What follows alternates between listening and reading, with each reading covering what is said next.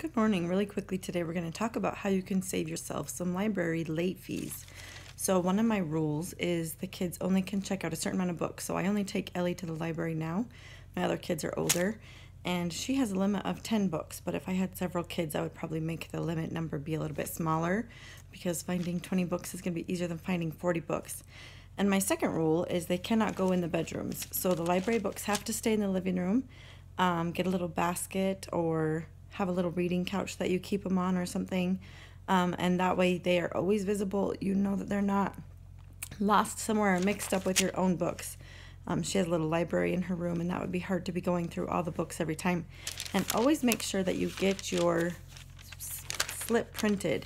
Um, I don't know exactly what it's called, but I always keep mine on my fridge. So even though I've kept the books in the living room, I've limited her numbers. I also have a list that every time we're going to go back to the library, I can check each one um, as we find it, and she helps me count them and put them in the bag.